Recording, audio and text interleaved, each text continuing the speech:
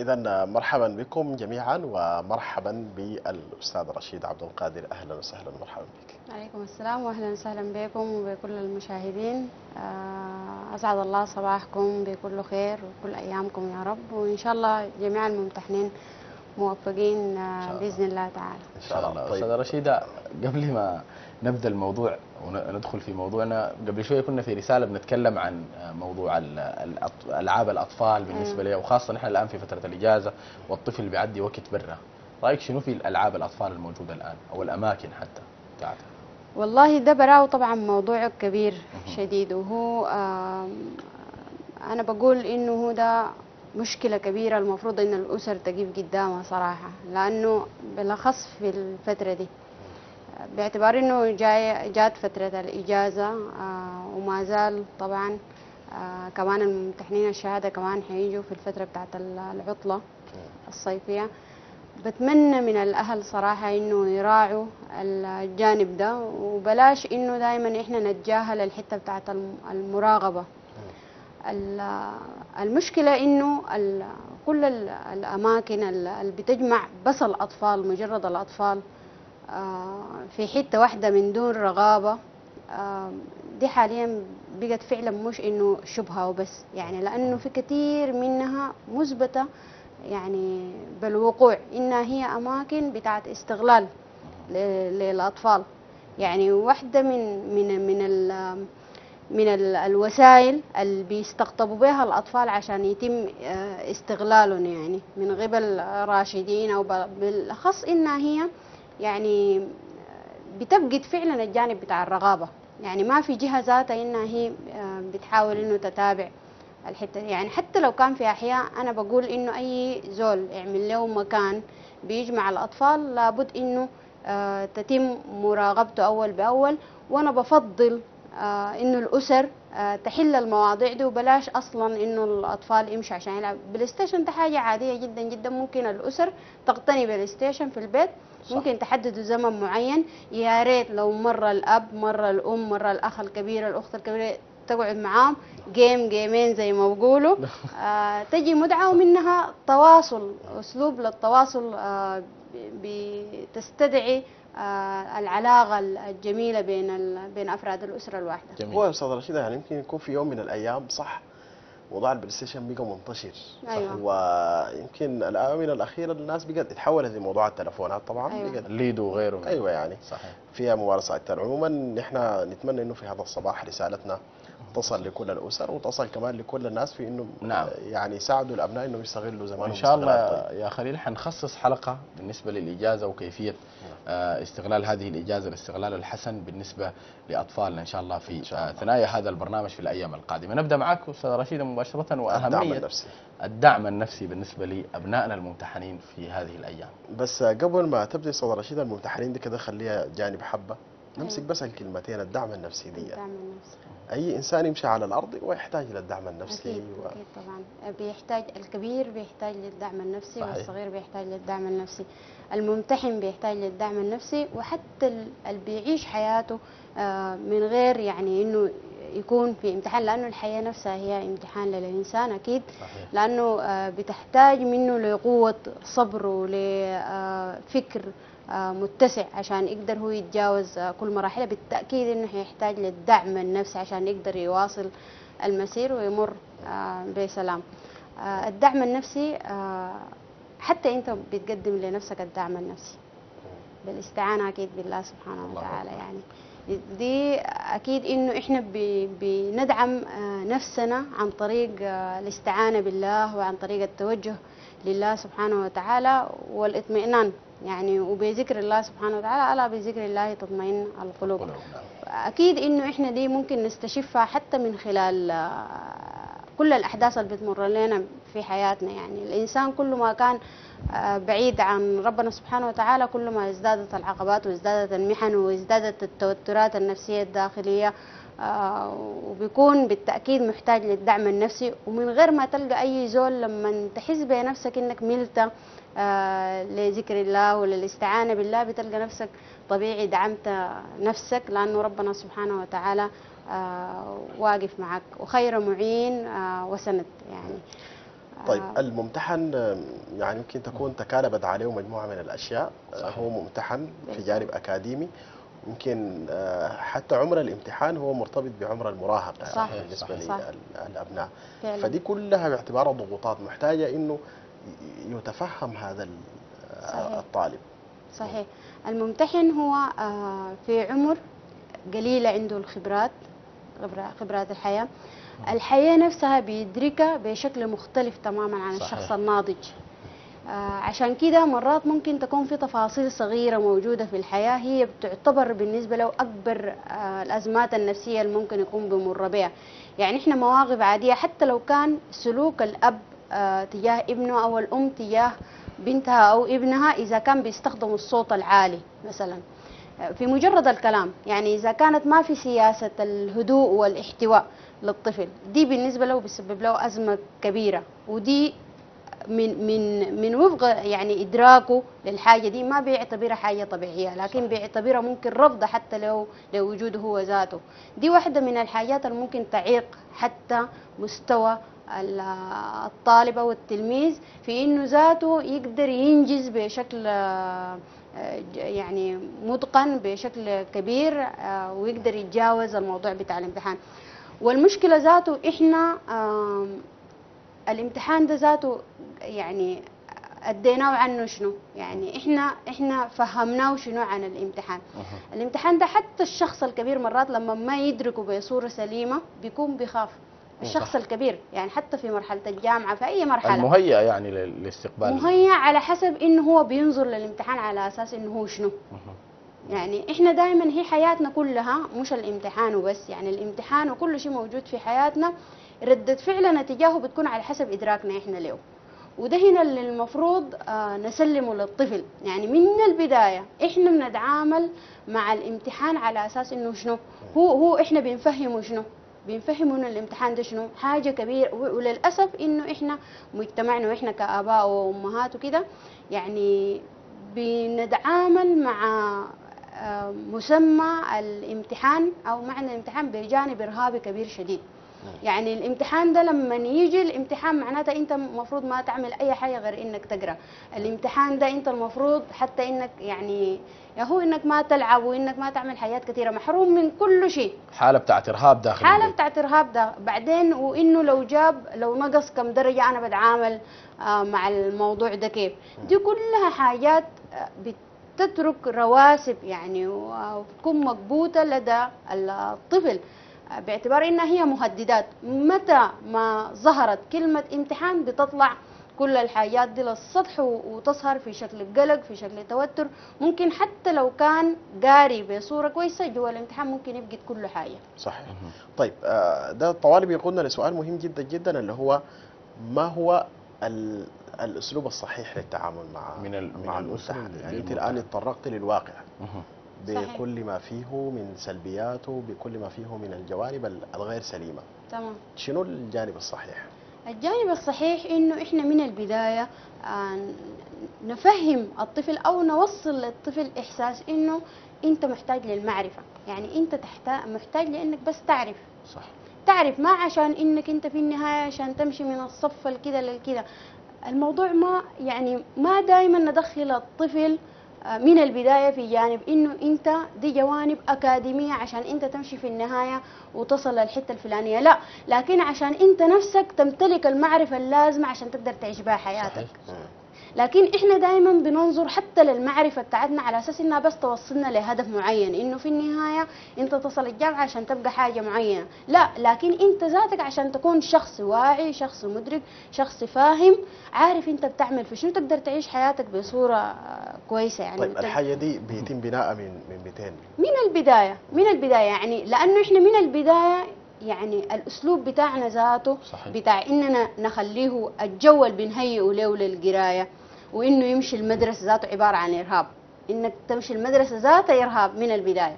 حتى من مرحلة الرياض يعني وتاني بعدك بتيجي مرحلة المدرسة. بيبدأ الطفل حتى يتمرد. يتمرد هو الطفل ما حيتمرد إلا لو أنت أصلا ملكته كمان الشعور بتاع إنه كأنه ماشي لحتة هو. حيتم فيها الانتقام منه. يعني إحنا بالعكس إنها حتة جميلة وحتة ظريفة وفيها الناس كلهم بيعرفوا حاجات كثيره خلينا أنت تمشي هناك عشان أنت تعرف أنت ذا- ذاتك عشان تكون زول عارف كل حاجة وتكون فاهم آه وتاني تقوم تفيد الناس والناس تعرف منك وتكون زي ما خلينا نضرب لهم مثل زي آه، محمد عمر ده.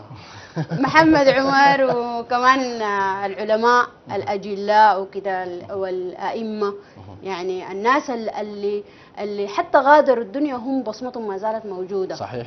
في التاريخ. صح. هنا دي المعرفة اللي لازم يكتسبوها. مش المعرفة اللي بتجي على أساس إنه هي أصلا كلها مليانة بالعقبات وفي النهاية إرهاب يعني عشان حي يصل لمكان معين وهو اسمه يكون زي ما هو. ال- الرسائل يعني مفترض تكون من الأسرة بالدعم النفسي رسائل تحفيزية. تحفيزية. مش رسائل تخويفية. وحاجة آه للأبد.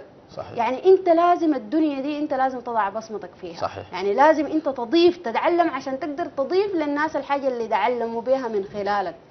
لكن إحنا للأسف ده دي الحاجة غير حاصله نعم. صح. في في واحدة من النقاط الهامة جدا. في كثير من الأسر زي ما ذكرت قبل شوية بي- يعني حتى بتتوعد ولدها. لو ما نجحت نحن حنعمل لك كده وكده. أيوة. بما إنه مفترض تهيؤ يعني تقول لي يا أخي أنت لو ما نجحت في النهاية ح... المرة الجاية برضه حتعيد تكون أجمل. لكن لو نجحت في المرة دي أنت حتكون كمان متميز أكثر وأكثر. يعني. فعلا. وما نجح ده هي زاد درس. صح وهي دي يعني مشكلة درس كبيرة خلوه يستفيد منه. يعني إنه ما نجح دي ما معناها إنه أنا أبقى له خصم تاني وأجي أأنبه وأجي. لا هي دي ذات درس. درس إنه الحياة دي ما ماشية بصورة واحدة. صحيح. يعني إحنا نقوم نستغلها ننتهز فرصة. يعني مش إنه نلغي عليه اللوم وإنك أنت عشان ما قاعد تذاكر وإنت ما قاعد تفهم وإنت عملت لك السبعة وزمتها زي ما بيقولوا جبت لك أساتذة بالقروش ما عارفه عملت- قريتك بالقروش. قريتك أيوه في مدرسة خاصة وعملت وعملت وعملت. هي ذاتها أصلا القروش اللي بتدفع دي والمعلمين اللي بيجوا ديل والمدارس الخاصة اللي بتودي لها طفلك ده في النهاية دي ذاتها ما كلها ما هي اللي بتقوده للنجاح. خالص. ممكن تكون هي مفتاح بس. وبالعكس ممكن تكون مدمرة أكثر من ما مش إنه مفتاح هي ممكن تكون مدمرة أكثر من من إنها محفزة. لانت لأنك أنت في النهاية بتجي تقدم الحاجات دي بناء على رغبتك أنت لكن ما بناء على رغبته. آه. وأسوأ ما في الحياة إنك أنت تقود الطفل من دون إرادة من دون إرادة. ومن دون ما يكون واعي هو أصلا ماشي لوين. طيب أنا دايرة أوديك المدرسة الخاصة. طيب فهمني ليه إنه المدرسة خاصة؟ لأنه أنا عارف إنه في مدرسة حكومية وفي مدرسة خاصة. وريني ال- المعنى الكبير الأعمق لأنك أنت عايز تقدم لي خدمة زي دي. يعني ندير حوار. ندير الحوار وهو يفهم الغرض من كل فعل أنت بتقدمه له. عشان هو ذاته تاني لما يكون بيتحرك حتى لما يجي عشان يقرأ يقرأ عشان هو عايز يرفع راسك في الحتة بتاعت أنت عايز يكون شخصية لها مكانتها آه، في العالم كله. جميل. جميل. وليس فقط مجرد مرحلة بنتباهى بها أمام الناس في مرحلة محددة وخلاص. طيب آه الكلام ده كله فيما يتعلق بممتحن موجود في بيت آه يعني فيه فيه استقرار نفسي. أيوه. هو يحتاج للكلام ده كله. أكيد. فما بالك بشخص قد يكون موجود في نزاعات أو في مشكلات أو في توتر صحيح. بين صح. الأب والأم والأخوان وكذا؟ صح. حقيقة من أكبر التحديات فعلا اللي ممكن تواجه الطفل. آه، مش كمان إنه طفل آه، تكون عنده الرغبة لكن النزاعات اللي بتحصل كمان جوا الأسرة ممكن تفقد الطفل أصلا الرغبة في إنه هو يعيش بصورة سليمة زيه زي الأطفال. يعني يكون آه، بيحب المدرسة وبيحب القراية وعايز. ما كل المعاناة اللي بتحصل من تجاه الأهل والنزاعات اللي بتكون بين الوالدين ممكن تقود الطفل للنجاح. مم. يعني هاي عندنا نماذج كثيرة عانت في الحياة. يعني وعانت من التوترات. وعندنا أسماء أسماء ضخمة وعالمية. فعلا من الأسماء اللي وضعت بصمتها في العالم ككل. يعني إحنا عندنا حتى في علم النفس واحد من العلماء فرويد ده كان بيعيش حياة يعني أسرية آه، صعبة. صحيح. يعني ومع ذلك أصبح له اسمه اللي إلى يومنا الحاضر هو آه، بيستفيدوا منه. بس بشرط. إنه يكون هو أدرك المشكلة وقدر يعالجها. أيوه هو بيحتاج إنه هو مش مش كده وبس ما هو في مرحلة كمان بتاع آه، طفولة. نمو نعم. يعني أيوه وما زال بينمو فيها وفكره لسه ما مكتمل جميل. تماما. ممكن تغير بيكون عنده اتجاهين. إما إنها تقوده للإصرار ولا عزيمه لأنه يتحرر ويغير الوضع صحيح. اللي هو موجود فيه أو أو يكون- إنه هو يمشي بشكل خاطئ وفي النهاية بيطلع لي طفل. منحرف طفل آه محبط جدا. محبط جدا ومليء بالاضطرابات النفسية اللي في النهاية بس جميل. بتخليه يخسر آه آه، نحن نواصل. إن شاء الله لكن بعد ما نشوف النيل معانا من الجزيرة. النيل السلام عليكم. طيب النيل مشى لكن نتمنى إنه يعاود الاتصال لاحقا. نعم. طيب النقطة دي لو فيها ممكن باقي فيها حاجة ممكن نكمل في الموضوع. طيب ممكن نمشي لنقطة ثانية. في واحدة من الأساليب اللي قاعدين نشوفها الآن أنا داير تعلق عليها هل هي تؤثر على نفسية الطفل؟ يعني جانب الأسرة في البيت وحرصها الشديد تكلمنا عنه. جانب المدرسة برضو. قاعدين نشوف إنه الآن ال- ال- ال- الطالب بيجي خاشي للامتحان في شرطة في احتياطات أمنية في غيرها من ال- ال- الأساتذة ذاتهم في المراقبة ال- النظر ال- الكثير. ده ممكن يأثر على نفسية الممتحن؟ ولكن لا بد منه يا محمد. صحيح هو لابد منه. لكن. هل ممكن يأثر يا في في. حاجات آه، كثيرة بتأثر في حاجات قبل الامتحان وفي حاجات أثناء الامتحان. يعني قاعد تحصل. الحاجات أنا بعتبرها إنه من ال- الجرائم الكبيرة في حق الطفولة عموما اللي هي ال- ال- الطريقة ذاتها بتاعت المناهج والطريقة بتاعت التدريس والطريقة وال- والكمية من المعلومات ال- الكثيفة يعني مم.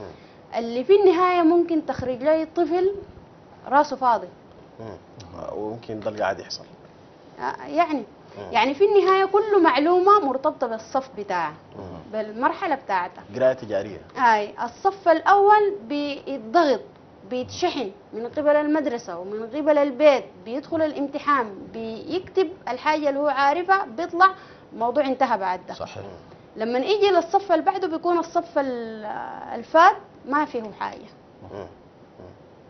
وإذا في بيكون حاجة كده لا تذكر. صحيح. ويمشي وهكذا. في النهاية في النهاية التغذية الراجعة اللي بيتحصل عليها يعني كمية ال- المعلومات والفوائد اللي ممكن يتحصل عليها طالب ال- المرحلة الجامعية بتكون ولا حاجة. صح. طيب يا أستاذ رشيدة يعني هل يمكن ال- ال- الجهات المسؤولة بوضع المقررات والتفاصيل دي هي ما مدركة للكلام ده؟ والله آه، أنا ما بقدر أجزم في الحتة دي إنها هي مدركة ما وبتتجاهل الحتة دي ولا هم ما مدركين وغايبة عنهم. لكن أنا بعرف حاجة واحدة بس. بعرف النتيجة في النهاية المحصلة ده اللي قاعد يحصل. أيوه أيوه وبعرف في النهاية برضو المقررات عاملة كيف. صحيح. وبعرف في الآخر برضو ظروفنا إحنا عاملة كيف. اللي هي انها هي آه، ما ماشية بوتيرة ثابتة. صحيح. طيب أنا في النهاية جيت وضعت مقرر كمية المعلومات اللي بياخذها الطالب. مثلا ال- المرحلة السنة الدراسية بتبدأ يوم كده وبتنتهي يوم كده. طيب المطلوب إنه أنا دي مادة ده كتاب. المفروض إنه ينتهي منه في السنة دي.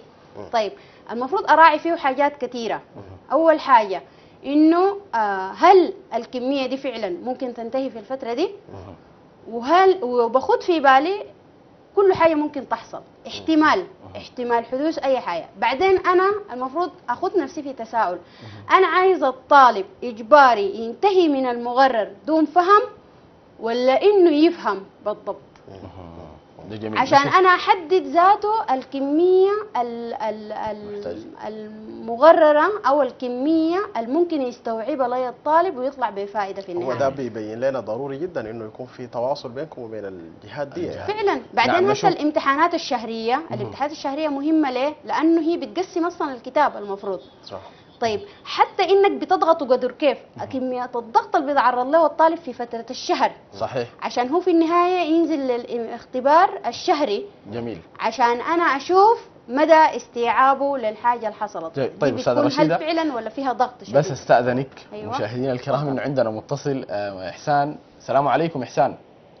عليكم السلام ورحمة الله وبركاته. أسعد الله أوقاتكم بكل الخير. وأمنياتنا الطيبة.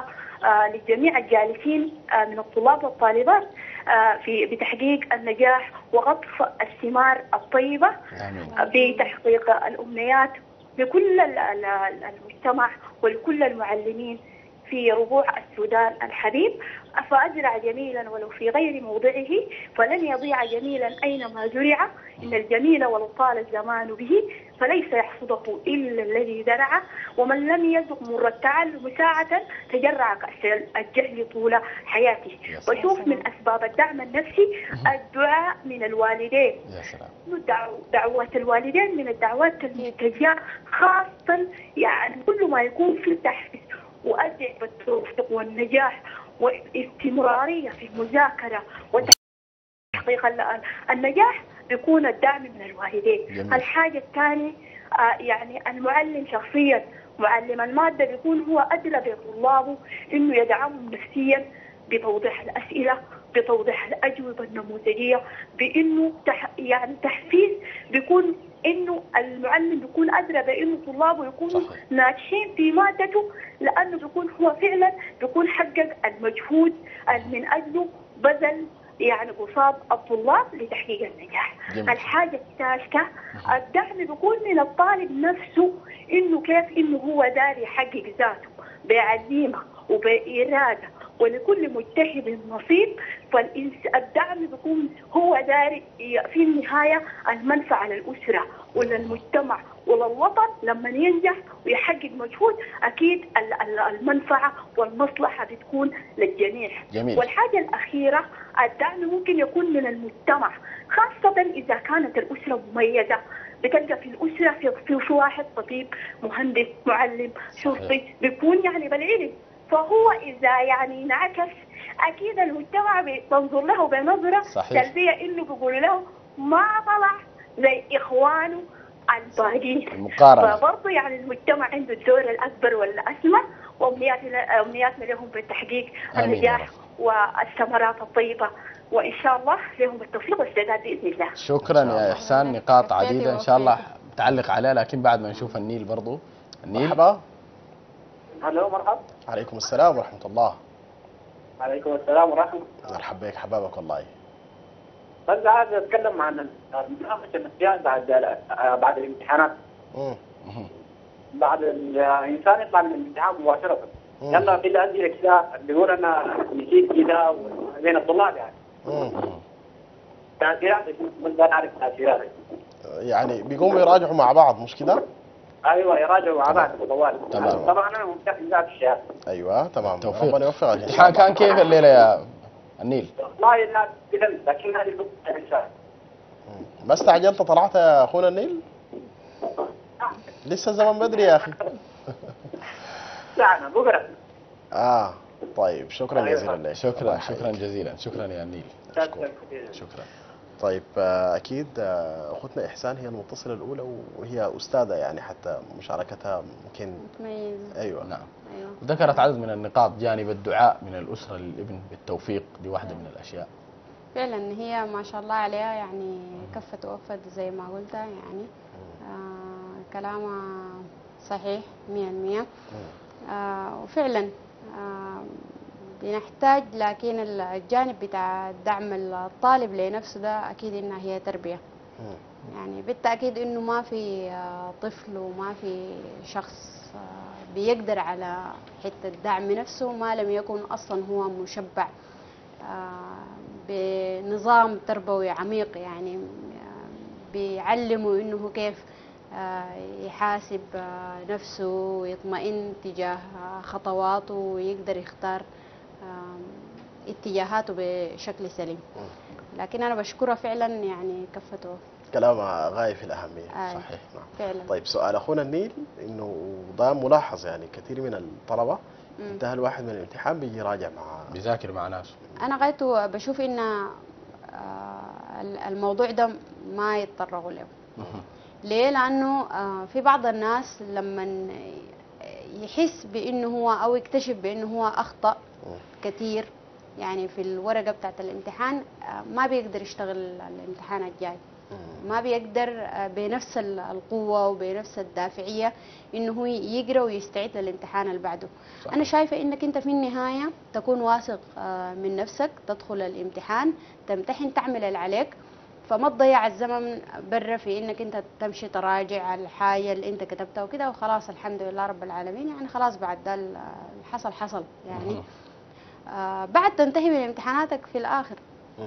لو راجع. عايز تراجع آه، راجع راجع نعم. آه، في طيب. النهاية إن شاء الله لكل مجتهد النصيب أكيد الكلام اللي قاله محمد قبيل آه إنه الجو الخاص بالامتحانات والتأمين الكبير ومراقبة صحيح الأساتذة وكل المسائل دي. والأمهات ذاتنا أيوة. السرامس اللي بيجي منها والفطور أيوة. والجو اللي بنشوفه الآن في في امتحانات أيوة. عنده أثر نفسي سلبي أم إيجابي؟ والله في والأثر الإيجابي وفي والأثر السلبي.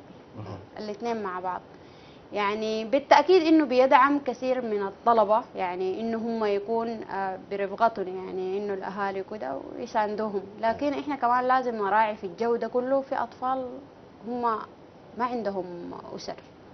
في أطفال آه، أمهم متوفية في آه، ناس أبوهم متوفي في ده ممكن يضيف جو من المعاناة. وعدم التركيز للجماعة التانيين ديل داخل الامتحان يعني في ناس فاقدين أصلا الحتة بتاعت رعاية أهلهم ليهم وكده. طيب المعلم هنا يعني هل يمكن قبل الامتحانات ما تجي يتكلم مع طلبته لأنه في. النهاية هو كان مرافقهم سنة فعلاً. كاملة يعني فعلاً. هو علاقة أخوة بالنسبة له أكثر من علاقة أستاذ بطلبه صح وهي دي الحاجة أصلا المفروض تكون آه، في كل في أي مرحلة من المراحل التعليمية يعني دائما المفروض إنه المعلم هو لفترة طويلة باعتباره إنه لصيق بالأطفال. صحيح. المفروض إنه هو عارف حتى آه، نفسياتهم هي عاملة كيف. بالضبط. عارف ظروفهم هي عاملة كيف. عارف مستوياتنا الأكاديمية ذاتها هي عاملة كيف. فالمفروض إنه هو يحتوي في الفترة بتاعت الامتحان أو الاختبارات حتى الشهرية. لأنه الحاجة دي أنا قلت إنها هي المفروض نربيهم عليها من البداية. يعني صحيح. إنهم كيف ذاته يهيئوا نفسهم للامتحان كيف يستقبلوها. آه الاعتبارات أو المبادئ اللي المفروض ترسخ جواهم يعني ويعرفوها. بعدين الحتة بتاعت آه، في ناس برضو بيهتموا بالجوانب من المرحلة دي بتاعت الأساس. بيهتموا بالجوانب بتاعت جيت الكم. مم. الأول الثاني الثالث. أنا دائما قاعدة أقول أنا واحدة من الناس ال- ال- اللي ما قاعدة أتبعها. بتبع الحاجة اللي بقولها لكم هسه اللي هي الجانب بتاع المجموع أفضل. يعني المجموع أفضل من إنه قولوا جل 12 ال 13 لكن في بمجموع كم؟ يعني في يعني دائما خليه آه، الترتيب ما ما ما الترتيب ما الجراية وما. مقياس ما مقياس وما بدي لكن في ناس مرات ممكن انه حتى بيمسكوا أولادهم من حتى في الحتة بتاعت الترتيب. مم. يعني إنه جيت الأول جي- جيت الثاني جيت الثالث الرابع ممكن يكون مشكلة. يعني فأنا لأنه ده اللي قاعدة أشوفه يعني إنه جوا المدارس وكده يعني نعم. من الأمهات. طيب آه، بالنسبة للمذاكرة يعني عايزين برضو ندي إشارة لها آه، في كنصائح نفسية في بعض الممارسات اللي قاعد تمارس والصح شنو؟ صح. بالنسبة للمذاكرة أنا ال- ال- التنبيه اللي عايزة أنبه له وال- الاسر إنه أنتم ما تستخدموا الأسلوب اللي أنتم شايفينه بس. يعني ما في حاجة اسمها ال- الولد ده أو البنت دي لما يجوا على الامتحانات بكم يوم ولا كده إنه لازم الوقت كله يكون قاعد قدام الكتاب بتاعه. صح. من غير حتى ما تعرفوا إنه نظام ولدكم أو بنتكم ده كيف أصلا. كله إحنا كلنا بنختلف عن بعض حتى لو كنا داخل بيت واحد. طريقتنا بتختلف. يعني إنت أيها الأب أو أيتها الأم يعني إذا كنتم من الناس اللي كانوا ممكن يقروا بس في فترة منها والامتحان مثلا الشخص الثاني لا ولدكم ممكن يكون مختلف. في أشخاص يعني شوفوا هو نظامه ياتو يعني في أطفال إحنا ما نقعد نجبر فيهم ساي نشوف أصلا الطريقة اللي هي أصلا بتناسبهم الطريقة اللي هي أصلا بتنفع معاهم الطريقة اللي هم نظامهم ماشي بيها. يعني في أطفال حتى ممكن بس مجرد الحصص داخل المدرسة بتكون كفاية. صح. يلعبوا الفترة كلها حتى لو كانت فترة الامتحانات في النهاية بيجوا في الامتحان بيشتغلوا بطريقة كويسة. يعني إحنا ما نجي نلزم الطفل بأسلوبنا إحنا. صحيح. إحنا نشوف نحاول إحنا عندنا تحدي في البداية إنه نفهم طريقته عشان ما نقوم نقلق نفسنا ونقلقه معانا. إذا كان من النوع الممكن يقرأ آه، في الفترات بتاعت الامتحان ويستوعب بشكل كويس ويؤدي أداء كويس هي أصلا الامتحان يعني. صح. عشان كده إحنا دايما عشان كده أنا بقول إنه الفهم مهم شديد مهم ومن جداً. البداية. مهم وأول جداً. بأول المتابعة. مهم. عشان ذات فترة الامتحانات الزحمة دي ما كويسة. صحيح. يعني فهم نفسية الطفل مهمة جدا في فترة مهمة الامتحانات. أيوة. نتواصل إن شاء الله ونشوف معانا آه، منى. منى السلام عليكم. عليكم السلام ورحمة الله. يا مرحبا. أهلا وسهلا. أنا بستفسر عن ال- الطالب لما يكون السنة كلها بيقرأ ويجي أيام الامتحانات يقوم يعمل له بخراف مم. اللي هي اللي بتكشف انه دي ضربت معاه ودي ما ضربت معاه. يوتر الناس اللي حوالينه وعايزين نستفسر من ال- طيب يعني كيف المراقب يتصرف مع الطالب ده من غير ما يوتر الطلبة الباقي. اللي حواليه جميل. تمام تمام. شكرا. شكرا يا منى. آه والبخرات يعني موجودة يعني من زمان. أكيد هي تلقى في ناس بيجهزوا لها بالمناسبة بطريقة معينة وغير وأساليبها بتختلف صحيح. وكده يعني وفي ناس عباقرة يعني في الطريقة بتاعت ال- البخرات وهي بتعتمد على الدرجة بتاعت ال- الذكاء. درجة الذكاء ودر يعني فعلا لأنها حيل عبارة عن حيل صح. متعددة يعني. طيب الرسالة على- هنا بتكون لمنو بالضبط يا أستاذ رشيدة؟ بتكون للطالب ولا بتكون للمستوى المراقب. ولا ال- والله أنا ممكن أجمعهم كلهم. أوريك ليه؟ لأنه أي فعل آه، بتسبقه يعني حاجة هي موجودة في نفسها. أي سلوك يقوم به الطالب هو بتكون نتيجة لأسباب موجودة يعني. فالأسباب دي وين؟ يعني اللي الطالب بعدين زي ما هي قالت إنه هي قالت إنه بيقرأ بيكون بيقرأ السنة كلها وفي النهاية هل فعلا هو بيقرأ؟ هل فعلا هو بيقرأ؟ يعني ما معنى إنه الطالب بيمشي المدرسة وبيجي هو بيقرأ أو ما معنى غرفته. بيحضر الحصص ممكن يحضر الحصص قاعد فيها ويشي بجسده بس صح لكن ما مستوعب أي حاجة صح ده تساؤل محتاج لإجابة هل هو بيقرأ فعلا لأنه لو بيقرأ فعلا وفي النهاية عمل البخرة. في أسباب نفسية بتكون في البيت أو في المدرسة بتضغط عليه بتخليه في وضع بتاع توتر مثلا شديد داخل الامتحان وهو بيحس إنه هي دي الحاجات اللي ممكن تطلعه. حتى الاجتهاد اللي بيجتهدوا في موضوع البخرة كان ممكن يوظفوا في في المذاكرة أيوة. يعني لكن ما بتدفعه تاني ال- الغرض النفسي أو ال- المشكلة النفسية اللي هو بيعاني منها ممكن تدفعه صحيح. ممكن تدفعه عامل زي الأسلوب آه زي عندنا ال- الوسواس القهري كده ال- اللي هو الفعل اللي بيكون قهري صحيح. يعني أنت آه بتكون ما قادر ذاتك تسيطر على نفسك إنك أنت تعمله فما بتعرف الحاصل شنو ممكن يكون معلم حتى مم. يعني معلم آه عشان هو مثلا مشاعره كويسة تجاه المعلم ما عايز يخسر المعلم ما عايز يكون هو ما عايز يرضيه على أساس إنه أنا متميز في مادة وكده يقوم لأنه ال- الغش ده وراه حاجات كثيره يعني. ما صحيح. كلها بيكون ال- الطفل إنه هو بس لمجرد إنه بس داير يكتب على أساس إنه يطلع من الامتحان. مرات في أسباب كثيره في أسباب نفسية البيت ضغطه أو ممكن ما يكون بيقرأ من أصل من أساسه. جميل. يعني. طيب يمكن الشق الثاني من سؤال اختنا منى اللي هي في كيف يتعامل تتعلق بمعاملة المراقب؟ دون التشويش على البقية يعني. شفت لي زول كده عنده بخرة أتعامل معه كيف؟ أيوة. على أساس إنه ما ما أشوش على باقي الناس في أنا شايفه أنا شايفة إنه بشكل كده آه، غير واضح للطلاب شيل بس الورقة بالراحة بكل بساطة شيلها منه وأمشي. بعد ذاك بعد ذاك بعد ينتهي الامتحان ويطلعوا ديل تعال أتكلم معاه أتفاهم معاه.